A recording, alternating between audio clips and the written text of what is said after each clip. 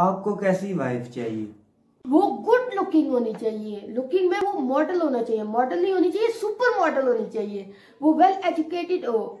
वो सारों से अलग लगती हो। उसकी आँखें ब्लू होनी चाहिए। वो कपड़े मेरी मर्ज़ी के सिर पहने।